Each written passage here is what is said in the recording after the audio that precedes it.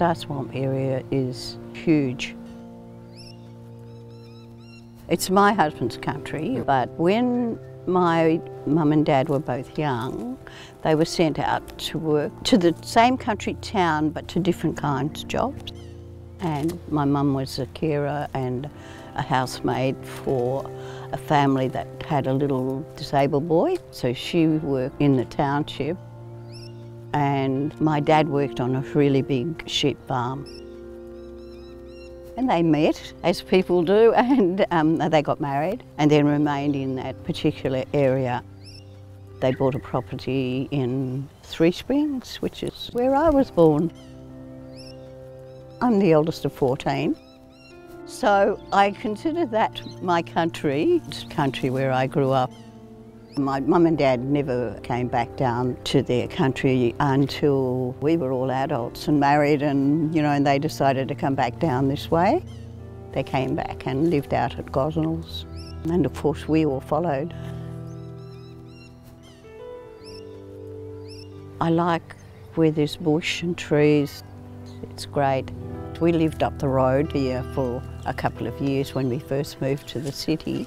Then we discovered this and my kids used to come down here and play. Actually, my younger son fell off a branch here somewhere, broke his arm and one of the neighbours brought him home and she was telling me that she's lost count of how many kids have broken a, a leg or an arm or something or dislocated their shoulder climbing on trees in here.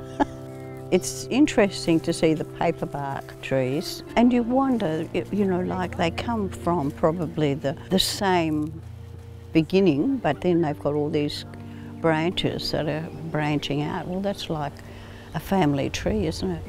You can understand how the kids want to come here and climb the trees and just play. Yeah.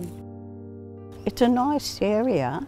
I always say one day, whenever I win one of these big lottos, you know, I'll come buy a house out here at North Beach, yeah. But I do like to see it, you know, come and just sit and look. Sort of calming and makes you feel good. When we first moved out here to North Beach, my granddad, he said to me a long time ago, a lot of our people lived out there and it wasn't until later that I realised that Aboriginal people, families, lived here. It has a lot of significance for Aboriginal people because this used to be their camping area and sometimes they would come in from outlying areas like Kalgoorlie or different country areas.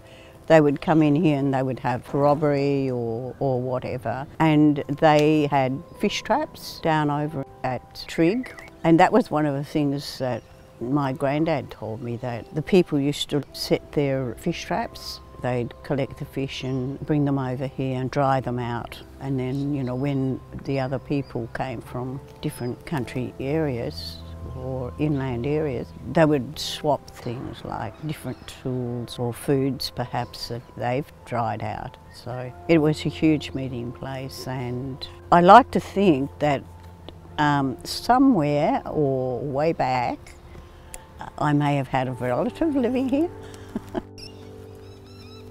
and hence how I feel about the place. I just feel comfortable here, I feel calm. Everything is gone from my mind when I come here and I can just sit in the quietness.